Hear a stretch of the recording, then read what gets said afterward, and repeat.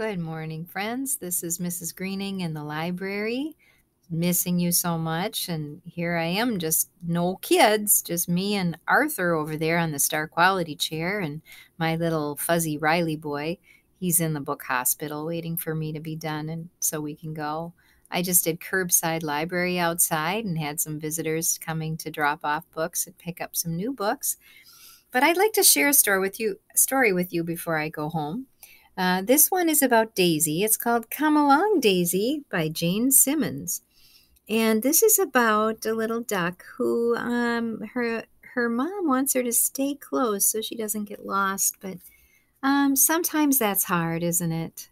When you're out shopping with your parents or out in a place where there's so much to look at and you get a little distracted, right? That happened to me when I was a little girl. I was at the state fair with my Girl Scout troop and I was looking up at a sign and all of a sudden everybody was gone. And it was pretty scary. I did find them pretty quickly. They came back and looked for me, but it can be scary to be lost. Let's see what happens to Daisy. Now, uh, Daisy's at home at my house because she doesn't like this story very much about when she got lost. It makes her really scared. So we aren't going to make her listen to this story today. Let's read it though while she's not here, okay? You must stay close, Daisy, said Mama Duck. I'll try, said Daisy. But Daisy didn't. Come along, Daisy, called Mama Duck. Well, I see a friend over here, Mama. Daisy was busy watching the fish. Look at this beautiful painting, boys and girls. Daisy's head is under the water, and we can see all the fish swimming around under there. What's that? Do you know what that is? It floats on top of the water like it's a plant, and then it grows a flower that's white and yellow and very beautiful. It's a lily pad. Come along, Daisy, shouted Mama Duck again. But Daisy was far away, chasing the dragonflies. Well, that looks like fun. Come here, Daisy, shouted Mama Duck.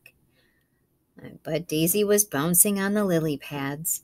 Bouncy, bouncy, bouncy, boing, boing, boing. Oh, this is so much fun. Plop went a frog.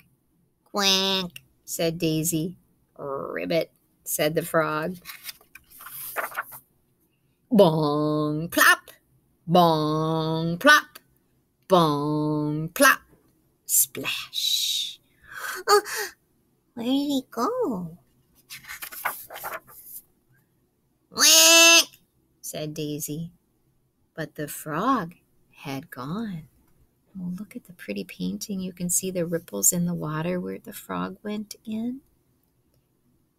Mama! called Daisy, but Mama Duck had gone. Daisy was all alone. Something big stirred underneath her. Oh, Daisy shivered. There's eyes right there. What could that be? Well, remember, it's not the ocean. So she's probably in a lake, right? So what do you think that is? What lives in a lake? Here's the tail. Here's the fin. Looks very big to little tiny baby Daisy. She scrambled up onto the riverbank, and then something screeched in the sky above her. Look how tiny she looks down there. We're seeing her from that bird's eye view. So Daisy hid in the reeds. Oh, if only Mama Duck were here. Something was rustling along the riverbank. Daisy could hear it getting closer and closer and closer and closer and closer. It was Mama. Oh, Daisy, come along, she said. And Daisy did. Oh my, look how fast she's swimming over by Mama. And even though Daisy played with the butterflies, She stayed very close to Mama Duck. Oh my goodness. Let's read one more about Daisy, okay? Because you guys are hatching eggs in kindergarten.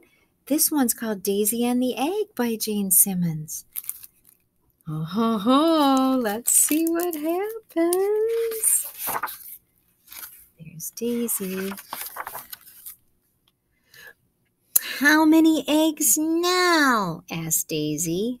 Four, said Aunt Bub Buttercup proudly. My three and Mama's green one. Your aunt is sitting on an egg for me, explained Mama Duck. Oh, can I sit on one too? asked Daisy excitedly. See, there's Mama's green egg, and there's Aunt Buttercup's three white eggs. It wasn't easy. Oh my goodness, look how little she is. She can't sit on an egg, can she?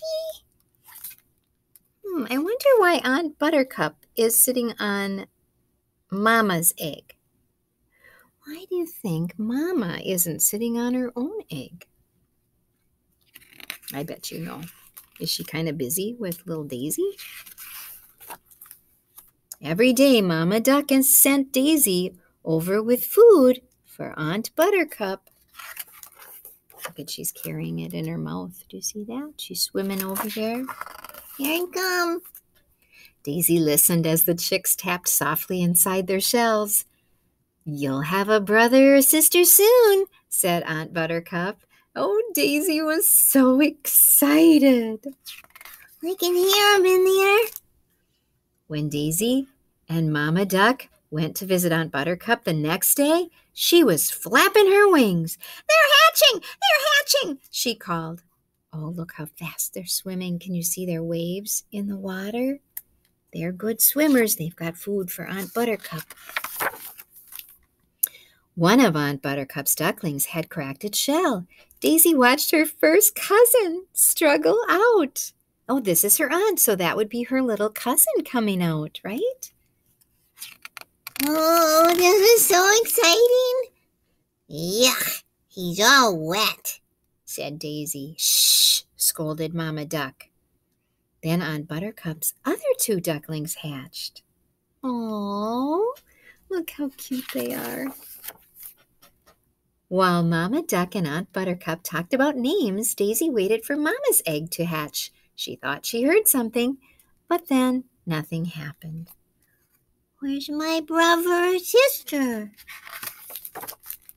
They all listened, but still there was no sound coming from the egg. That night, Mama Duck sat on her own egg. Well, Aunt Buttercup's busy with her babies now, right? But the next day, it still didn't hatch. Ah, some eggs just don't hatch, said Mama. Come and play with your cousins, Daisy. But Daisy wanted to stay with Mama's egg. Oh, look how sweet she is. She's cuddling and hugging that egg. I think she already loves that little baby brother or sister that's in there, don't you? Daisy made a hole in the feathers, rolled the egg in, and sat on top she figured out a way to sit on that egg all by herself, didn't she? We thought she was too little for that. Come along, Daisy, called Mamma. Mamma Duck, but Daisy would not move. Do you see the egg under there? These are beautiful paintings. It was getting dark, and Daisy was cold and tired. She sat on that egg all day, boys and girls. Mamma Duck came back. We'll sit together until morning, she said kindly. Yes, said Daisy. Oh, she missed her mamma. She sat on that egg all day. Mm, oh, good Daisy. Now there's Daisy underneath Mama's wing, and she's on top of the egg still. Beep, beep, beep. Daisy woke up. It was the egg. Her new brother struggled out of his shell and said, Pip, pip. Whack, said Daisy. Pip, he said again. Pip. said Daisy. Hello, Pip, said Mamma Duck. Look way over in the distance over there. There's Aunt Buttercup with the cousins. Oh, I'm so glad they didn't give up on that little egg. And Daisy sat and she was so patient. Together they all watched the sunrise on little Pip's hatching day. Oh, I guess that'll be his birthday, won't it? Next year. That will be his birthday. That would be funny if you called your birthday your hatching day. That'd be kind of funny because you didn't hatch, did you? You didn't come out of an egg like that, like Daisy did. Daisy was a big helper, wasn't she? Oh, Daisy. I'll have to bring her next time when I read a story here because there's another one about Daisy where she finds something on the farm that scares her a little bit. She gets scared kind of easy. Poor little Daisy. Okay, well, that was an exciting, good story, though. It had a good ending, didn't it? All right, boys and girls, thank you for tuning in, and I'll see you next time, okay? Bye bye.